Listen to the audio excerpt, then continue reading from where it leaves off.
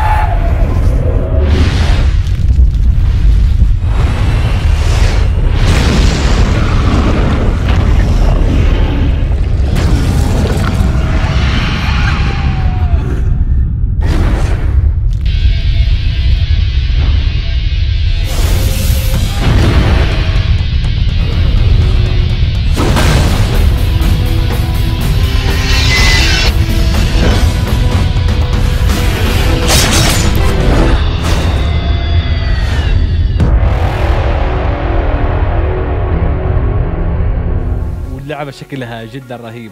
مو نفس ألعاب الموبايل المتعودين عليها لا. واضح إنه هاللعبة ب quality جدا عالي. نظام اللعبة هو hardcore strategy وأحداث اللعبة راح تكون بمملكة خيالية ومخيفه بنفس الوقت. وأنت راح تلعب بالملك وراح يكون عندك أبطالك المخلصين وكل بطل عنده الخصائص الخاصة فيه. استعمال هالأبطال راح تقاتل وحوش بمعارك جدا جميلة. ال fight بين الأبطال والوحوش راح تكون جدا ممتعة. طيب الحين عرفتوا شيء بسيط عن نظام اللعبة والقصة؟ خلنا حاليا نتكلم عن ال gameplay بالتفصيل مع ال multiplayer. لعبة فيها PvP و PvE يعني تلعب ضد لاعبين ثانيين أو تلعب مع لاعبين ضد الكمبيوتر.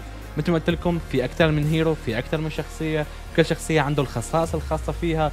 وفي فوق ال 50 magical stone أو الأحجار السحرية اللي فينك تضيفها للشخصيات وبيخليها مميزة عن غير كل هجوم بتسويه باللعبة سواء على لاعبين ثانيين أو على الوحوش الموجودة باللعبة.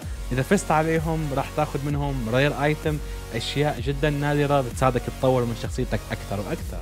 ال PvP باللعبة ما هو فقط عن إنك تهجم على ناس ثانيين لا فينك تعمل تحالف مع ناس ثانيين. أنت عم تطور مملكتك وفينك تروح تتحالف مع ناس ثانيين يعطوك موارد وبهالموارد تستعملها لتطور مملكتك أكثر وأكثر وبعدين فينك تخونهم أو فينك تتحالف معاهم وتهجم على ناس ثانيين هو الشيء الأساسي أو الشيء المهم باللعبة إنك تجمع موارد عشان تطور مملكتك أكثر وأكثر. كل ما تطور مملكتك أكثر باللعبة فينك تعزز نظامها الاقتصادي فينك تعزز نظام الدفاع وأشياء كثير موجودة بهاللعبة. ما هي فقط هجوم ودفاع في كثير أشياء فينك تطورها بمملكتك.